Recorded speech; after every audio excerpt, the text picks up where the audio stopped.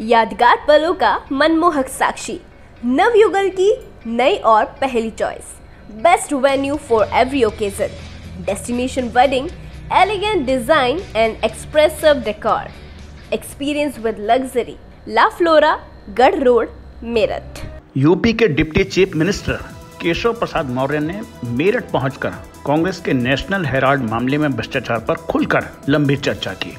उन्होंने कहा कि जमानत पर बाहर कांग्रेस अध्यक्ष सोनिया गांधी व राहुल गांधी को ईडी के सामने अपनी बात रखनी चाहिए। भ्रष्टाचार के लग रहे आरोपों पर जवाब देना चाहिए।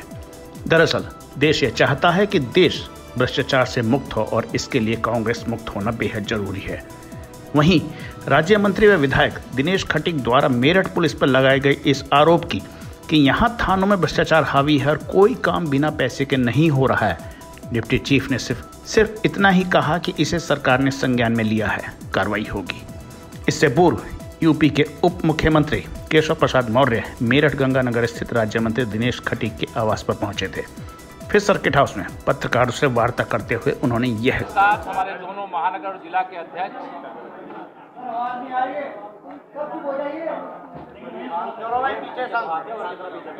आज मेरठ की इस पत्रकार वार्ता में हमारे दोनों अध्यक्ष, महानगर और जिला मेरठ के और हमारे साथ में, हमारे प्रदेश सरकार में मंत्री श्री दिनेश जी, हमारे वरिष्ठ विधायक श्री अमित अग्रवाल जी और अन्य साथी यहाँ पर विराजमान हैं। मैं आज आपसे जो चर्चा करने के लिए आया हूँ विशेष तौर से, नेशनल हेराल्ड मामले में। कांग्रेस का जो भ्रष्टाचार को संरक्षण देने वाला चरित्र रहा है, जिससे आज़ादी के बाद से लेकर के लंबे समय तक कांग्रेस के शासन के समय भ्रष्टाचार के कारण जिस भारत को पूरी दुनिया में प्रथम स्थान पर होना चाहिए था। पूरी दुनिया के सामने भारत को कमज़ोर बनाने का काम पहले भी किया जाता रहा है। भ्रष्टाचार करने वालों को संरक्षण देना, भ्रष्टाचार करने वालों के खिलाफ कार्रवाई करने से जो जाँच एजेंसियाँ हैं, उनको रोकना, उनको प्रभावित करना, और जब कोई दोष साबित हो जाए तो आपातकाल जैसे संकट का सामना भी देश को करना पड़ा था। यह मैं स्मरण दिलाते हुए जो नेशनल हेराल्ड मामला है, जिसमें पाँच हज़ार स्वतंत्रता संग्राम सेनानी एजेल कंपनी जो पंडित जवाहरलाल नेहरू के समय बनी थी, उसके सारे शेयर होल्डर स्वतंत्रता संग्राम सेनानी थे। उसमें एक बड़ा घोटाला, बड़ा भ्रष्टाचार का आरोप लगा। केस दर्ज हुआ। उस केस में श्रीमती सोनिया गांधी जी, श्री राहुल गांधी जी, दोषी पाए गए, उन्होंने न्यायालय से जमानत करा करके कहा, बेल में है, अभी जेल में नहीं है, लेकिन जाँच की प्रक्रिया में। अभी ईडी के माध्यम से जो नोटिस दी गई, और नोटिस देने के बाद ईडी के सामने पेश होकर के अपना पक्ष रखने की जगह वह भ्रष्टाचार के मामले में कैसे कांग्रेस का कुनबा बचे? कैसे गांधी खानदान में श्रीमती सोनिया गांधी जी, जो वर्तमान में अध्यक्ष के रूप में, और श्री राहुल गांधी जी, पूर्व कांग्रेस के अध्यक्ष के रूप में दोषी हैं? अड़तीस अड़तीस प्रतिशत का दोनों लोगों का शेयर है। चौबीस प्रतिशत शेयर स्वर्गीय श्री मोतीलाल बोरा जी के नाम था। और दूसरा आस्कर फांडिज फर्नांडिज के नाम से था वह चौबीस परसेंट उस पर जो नहीं है इस दुनिया में, उन पर मुझे कुछ कहना नहीं है। लेकिन जैसे चोर के दाढ़ी में तिनका होता, आज कांग्रेस की स्थिति यही बन गई। कांग्रेस एक भ्रष्टाचार के गंभीर मामले में ईडी की नोटिस के बाद वह लगातार एक राजनीतिक रूप देने की कोशिश कर रहे हैं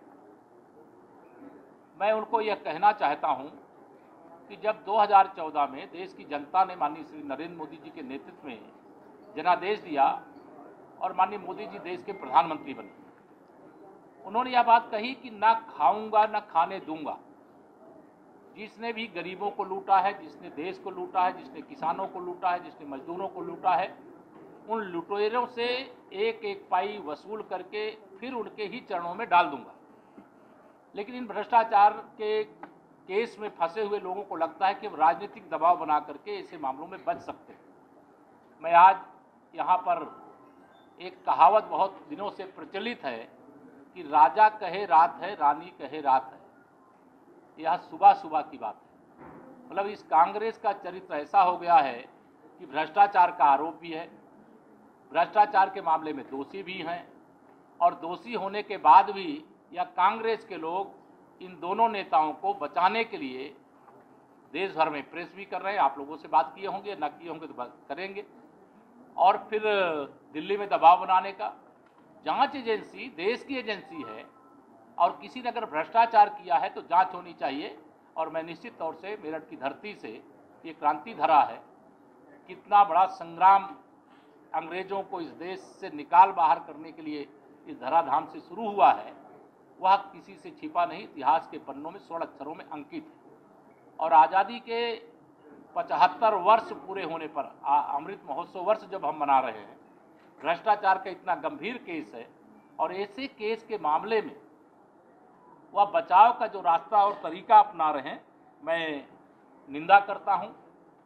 उत्तर प्रदेश की 25 करोड़ जनता की ओर से यह कहना चाहता हूँ कि जाँच एजेंसियों का कांग्रेस सम्मान करे, कांग्रेस की अध्यक्ष, पूर्व अध्यक्ष सम्मान करें। ईडी का जो नोटिस है उसका जवाब दें। बताएँ कि इस घोटाले में अड़तीस अड़तीस प्रतिशत का यह शेयर श्रीमती सोनिया जी और श्री राहुल गांधी जी के नाम क्यों है? उन पाँच हज़ार स्वतंत्रता संग्राम सेनानियों के शेयर का क्या हुआ? और यह कंपनी जिसकी लगभग आज की तिथि में ये बताया जाता है कि लगभग दो हज़ार करोड़ इसका, इसकी एसेट है, उस दो हज़ार करोड़ के घोटाले का एक गंभीर जब आरोप है तो मैं यह मानता हूँ कि ऐसे मामले में कांग्रेस को जवाब देना चाहिए। और कांग्रेस ने एक यंग इंडिया लिमिटेड के नाम से कंपनी बनाई थी। मैं इसका भी प्रेस नोट आप लोगों को अलग से मिल जाएगा डिटेल में। यहाँ हमारे जो मीडिया का काम देखते हैं, उनके माध्यम से मैं देने कहूँगा, वो इससे बड़ा विस्तृत है। लेकिन मैं आज जब आप सबके बीच में आया हूँ तो यह ज़रूर यहाँ कहना आवश्यक हो गया है कि अगर कोई गलत नहीं है तो उसे फिर डरना नहीं चाहिए। जिस प्रकार से कांग्रेस के वर्तमान और निवर्तमान अध्यक्ष डरे हुए, उससे स्पष्ट प्रतीत होता है कि जो आरोप जाँच के माध्यम से उजागर हुए हैं, जिस मामले में श्रीमती सोनिया गांधी जी और श्री राहुल गांधी जी बेल पर हैं उस मामले में वह निश्चित तौर से जो आरोप हैं, वो सच हैं।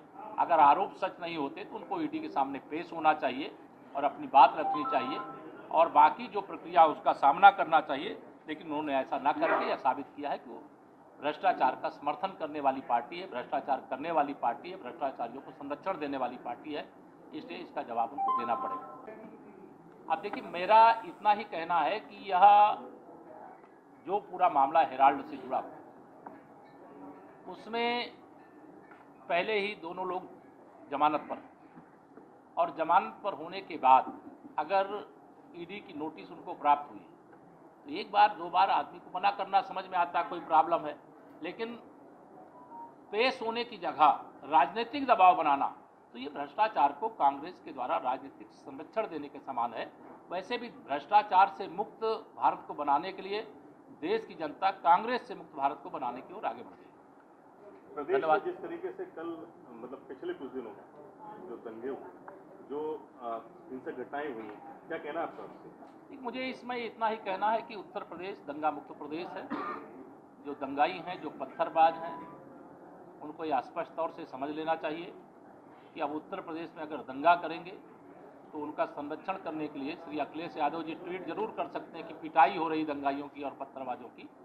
लेकिन मुझे यह बात ज़रूर आश्चर्य लगता है कि यह जो दंगाइयों की कहीं पिटाई हुई, पत्थरबाजों की पिटाई हुई तो श्री अखिलेश यादव जी को यह क्यों नहीं दिखाई दिया कि पुलिस वालों पर किस प्रकार से यह दंगाई हमला कर रहे थे, पत्थरबाज हमला कर रहे थे?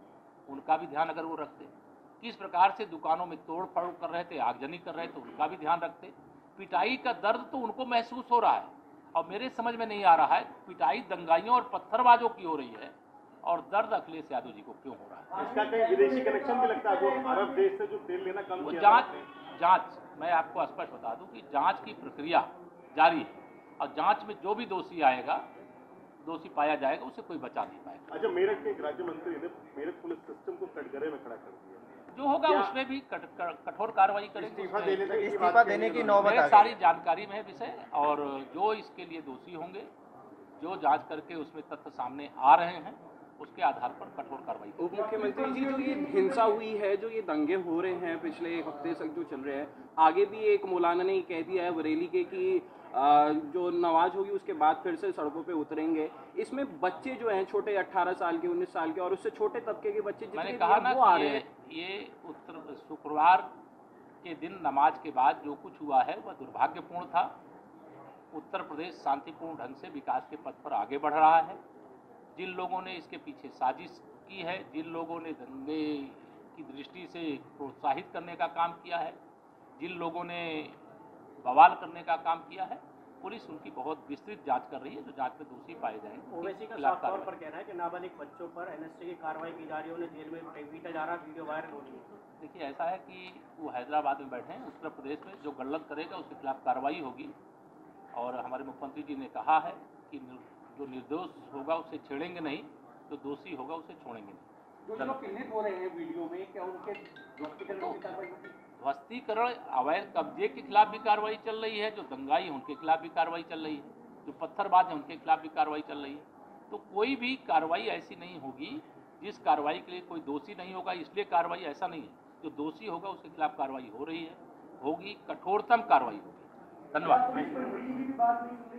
हाँ।